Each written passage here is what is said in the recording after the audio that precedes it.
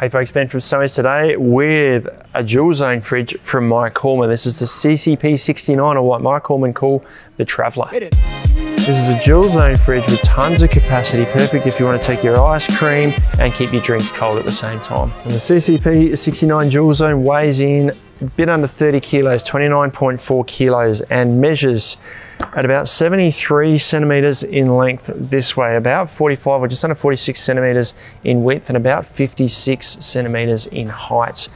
It's made from a combination of polypropylene, which is this grey material on top here and the black bumpers on the sides. It's all this heavy duty polypropylene. Same as on the bottom here, polypropylene there and there. And then in between these two is a metal panel. So it kind of combines the best of both materials. This metal panel is useful for the optional battery pack, which I'll show you more on shortly do a bit of a tour around the outside for you. I'll come back to this end shortly because that's the control panel end. On the back here, not much to see. There is an indent here. The lid is currently hinging from this side here. Um, but if you flip the lid around, which I'll show you shortly, get your hand under there to open it. Metal panel, polypro on the bottom, vent for the compressor. Flicking it around to this end here. It's quite a tall fridge. Excuse me while I struggle. Same deal, polypropylene spring-loaded handle here, and these are flush handles, so if you don't use them, you don't have to take them off. They can just sit there and do nothing, um, but they come out, you can use this to anchor the fridge as well, and that's a metal um, handle in the middle there. Metal panel through here, polypro on the bottom with a 12 and 24 volt, volt port at this end here, so you can power it through your 12 volt system or 24 volt system from this end. Furthermore, to this side, not much to see there. Panel at the top, this has got the lid, or the latch to the lid on this side here, which is reversible, show you in a sec. Metal panel, polypro at the bottom, with the vent for the compressor. And then this end here is the business end where most of the magic happens. Let's move this across. So Another spring-loaded handle here. Under each of these handles too, there is a bottle opener. This features on both ends, so handy little feature. Metal panel through the middle here. Polypro on the bottom with a control panel. We'll go into all of that shortly. And then at the bottom here is all our power up options. So 240 volt AC input here. There's just one of those guys, but then next to that is another 12 and 24 volt input. So one of these features at both ends of the fridge. Next to that, a little 3 amp USB output so you can charge devices from there. And below that, it's an override switch.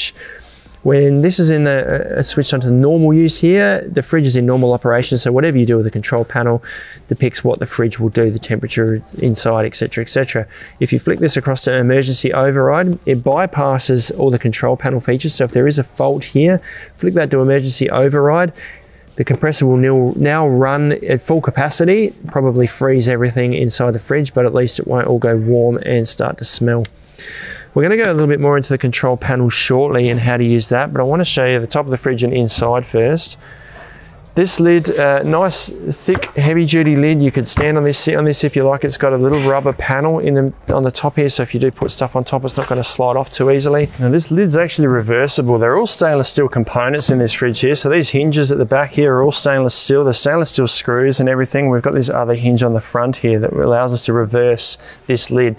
So to pop this off, you've got to be fairly firm with it. We just push this backwards and it pops out of place. So there's a little sort of spring load hinge in, spring loaded, sorry, hinge in there that holds it in place. So we can now flip that around, put it back down on this side here. We just make sure it lines up, give it a tap so it locks in and the lid is now reversed. So easy way to change the lid direction. Pop it off again, flip it back the other way and we're back to where we started. So nice and easy way to reverse the hinge. There's a nice thick lid. There's about six centimeters roughly of insulation throughout the whole fridge here. So nice thick um, polyurethane insulation inside. So nice and efficient. And the lid's got this nice thick, soft um, seal that runs around the top here. And that lays nice and flat against this flat edge here. And in underneath here is something that Coleman don't really advertise, or they don't advertise at all. And they, have got this little pipe or something. I haven't actually seen it, but they use some byproduct from the compressor, which is the heat from the compressor, to run around this edge here. Make sure that this just stays a little bit warmer than the fridge inside and stops the ice from freezing up or coming across on top of this, um, this lip here. What that means is that this seal is always sealed firmly against the fridge here so you don't get any cold water, uh, cold air, sorry, escaping. Have a look inside the fridge now. We've got 96 litres of capacity. What they say is about 87 375 ml cans. Measurement wise, uh, there's two depths. So the deepest end here is about 43 centimeters from the bottom to the top. Then at the shallow end, about 25 centimeters from where this shelf is here above the compressor to the top here. Total dimensions from end to end is about 58 centimeters from end to end here and just under 33 centimeters this way. But you've got this divider here that divides the, the two sections. So you've got fridge, fridge and freezer. So from here to here, the width of this section here is about 17 centimeters. And then from here to here, the width is about 38 centimeters. So two different compartments that you can play with there. These are all removable, what's inside here. So this is a tool basket that fits in this end here, probably what you'd use for your freezer compartment. So that easily lifts in and out. You've got little tabs there so you can lift the basket in and out nice and easily. Then on this side here, you've got two more baskets. There's a top basket here that has this handy little feature that lifts up. So we can lift that up and lock that in place here, and that gives us the full depth of the fridge there. And there is plenty of space to fit upright bottles in there, easily fit uh, that's a champagne bottle, 1.25 litre um, bottle, and I've got a two litre milk carton there, so you can fit them upright in that section there nice and easily. So that gives you a little bit of extra height in that section. If you don't want to use that, you can lock this down, fill that space up, lift this out independently of the one on the bottom, and then you've got this little basket in the bottom here as well, which also has these little indents so you can lift that out nice and easily.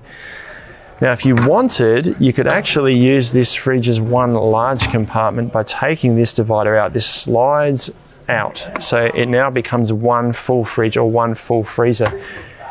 And I didn't actually mention before, I'm just going to quickly put this tool basket back in that this is probably better using this side here as the freezer because it has this lid that goes on top there. So that then seals this section in here to make that much colder. So back to taking this out, you can use it as a complete fridge or freezer. The only downside to that is that these baskets, you've still sort of got this little bit of a wasted space in here. These baskets now slide around a little bit because you haven't got that divider in the middle to stop that from moving around. So I guess the only reason you want to take this out is if you need that full length for something. Otherwise, you might as well leave it in there. And if you want to use the whole thing as a fridge, then you just set both sides to, to a fridge temperature. Or if you want to use it all as a freezer, set both sides to the freezer temperature. Last couple of features I'll show you inside is at the bottom here. We can see there's all these little channels here. So if you clean it out, the water can run to this central point here. And there's a bung that features in the bottom that fits nice and firmly. That goes straight out to the bottom of the fridge. So if you do need to clean it out, the water can run out to the bottom of the fridge. And then up at the end here above the compressor is an LED light. As soon as it's plugged into the power, that light goes on, it stays on, so you can see what's going on inside the fridge. It only features at one end, so you find that the freezer section up here might be a bit dark, but you can, can see in the fridge section nice and easily at night. Now the fridges are efficient, but when you come to a dual zone fridge like this, if you are running it as a fridge and a freezer, they do draw a little bit more power. And this guy, they state, will draw about 2.9 amps per hour if you're running the fridge at about minus 15 uh, sorry, the fridge at 3 degrees and the freezer at minus 15. And that's obviously going to vary a lot depending on how you've got the freezer set. And the compressor is myCOOLMAN's own compressor, which is in here. And if I look in here now, I can see a blue compressor inside there. That's myCOOLMAN's own compressor. It's been developed with years and years of history and knowledge in the portable fridge market. It's a variable speed compressor. It's reliable and it makes these fridges really efficient, particularly when you're running them as a fridge alone. And coming back around the front here, I want to talk about the power options. Before I go any further though, I'll just quickly mention that if you want to anchor this down, use the handles with some straps under there to tie it down. There are feet in the bottom of the fridge, but they're not specifically or not specified as anchor points, so you could probably screw the feet out.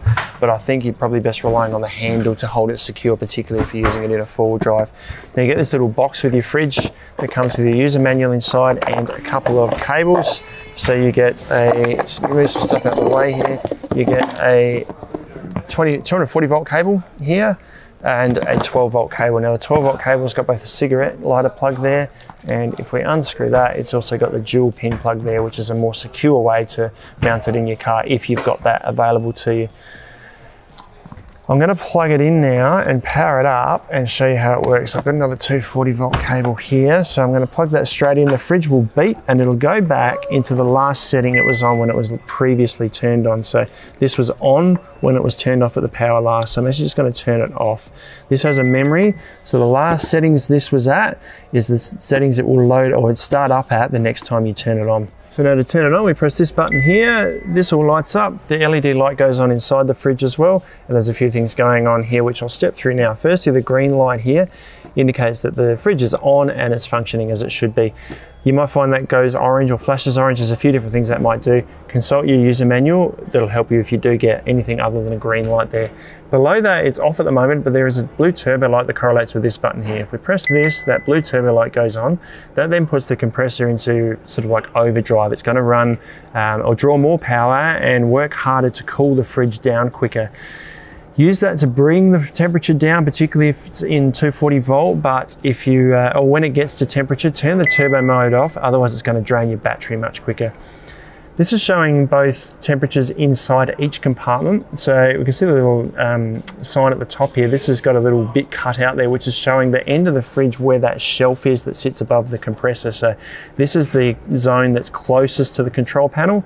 And this is the zone at the other end of the fridge, furthest away from the control panel because it doesn't have the little cut out there. So at the moment it's 15 degrees inside this compartment, 22 degrees inside that compartment. To change these settings, we use this button here. We press it once, this is now flashing. We can change what that's set to. So they're both set to minus 18 degrees at the moment. If I scroll up, I'm gonna set this to fridge degrees. So let's say that's five degrees. It'll flash a few times and then go back, or it'll go back to the internal temperature. So it's set to 15, uh, set to five degrees, but it's 15 degrees in there currently. To set this side here, I do two presses, so that's flashing. I press again. Now this side flashes, and I'm going to make that even colder. So this will go from about 10 degrees to, to minus 22 degrees for both compartment here. That'll flash and then go to the set mode. So I've now got that. It's going to cool down to minus 22 degrees. This one's going to 5 degrees, but at the moment it's 15 and 22. Now to access all the different settings, all we do is keep pressing this button here. It scrolls through all the settings. So one press does this side, two press does this side, Three press change gives us the option to change between Celsius and Fahrenheit. We use the up down buttons here to scroll between those two. So I'm going to leave it on Celsius, it'll keep flashing, then it'll go back to the internal temperature. Four presses, one, two, three, four presses now goes to the battery setting mode. So there's high, medium and low settings here. Now your user manual tells you what voltages they cut out at. I'm gonna leave it on low. It's a battery protection feature so it doesn't completely drain your battery and the fridge will cut out when your battery reaches that specified temperature. Like I said, consult your user manual on that one.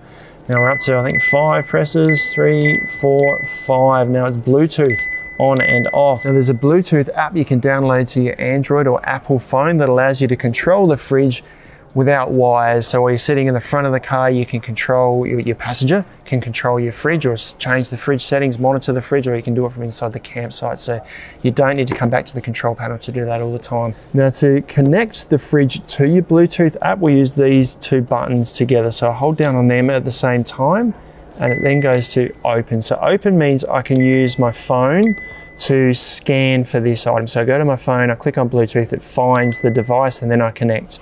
Close means I use the QR code, which is the sticker on here, and you get another one of these in the box that comes with it. Set that to close, scan this, and it will use the QR code to connect your mobile device to your fridge. One last feature I want to show you on the control panel here, and it's not something myCOOLMAN advertised, and that's a factory calibration setting that when it leaves the factory, they calibrate it so that the temperature inside the fridge is the same as what the control panel shows here. There can be variances through manufacturing. Might be a bit of extra glue that throws the, the sensor inside out a little bit. If you want to get really picky, you can enter a factory calibration mode by holding down on these two buttons at the same time. And we'll then jump into this mode here. You can scroll between these two with this button here. So I'll just take note of these because it's going to switch off in a second. I'll explain what they mean. So this side here is factory, calib factory calibrated to five or minus five, so five degrees below. This one is three degrees above. Now what that means, if we talk about the minus five um, side, the, the display that was on this side, is that the temperature sensor that's in the fridge after it was manufactured, they tested it, ran it, had a factory calibrated temperature gauge inside, and they found that the sensor was measuring the temperature at five degrees above what it actually was according to the calibrated gauge that they used inside.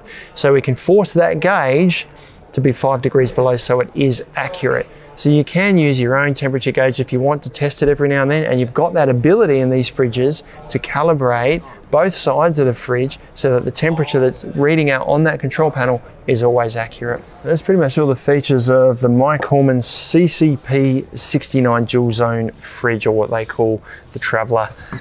You can get a insulated cover for it that goes over the top, offers a little bit more protection, a bit of uh, storage space in there as well, and also helps with the efficiency a little bit with the fridge. And the other feature that myCOOLMAN currently have, and this technology is always developing, is this power pack here. And the simple design or the pure design of myCOOLMAN makes these really compatible because they've got these magnets on the back and we can put this, attach this on the side here on any side that we want. To put it on this end here if I like. What that allows us to do is use this um, to power the fridge independently of the vehicle. It's got ports in the end here. It's basically an enormous power pack. You get a cable that runs from here to our 12 or 24 volt port there we put this on the end here, the cable runs from here to here and the fridge then becomes completely independent of the vehicle. So we can power this in the car while we're driving places or while we're in the campsite, we can leave this powered up. But if we want to do a bit of a walk somewhere or go have a picnic away from the car and want to take the fridge with us, you can attach this on the side, run it for a good number of hours externally to the car, bring it back and then charge everything back off your solar or your car when you're back in the campsite. That is the myCOOLMAN CCP 69 dual zone fridge. Perfect fridge for family camping. If you've got the space to store it, it's efficient and it's got a really neat design that makes it easy to store in a vehicle, caravan, trailer, wherever you want to put it. You can check them out online at snowys.com.au where you'll find them at our lowest prices every day. If you do have any questions though, please let us know down in the comments below. Subscribe to our channel, we'll send you all of the latest information and check out some other myCOOLMAN fridges like this one down here.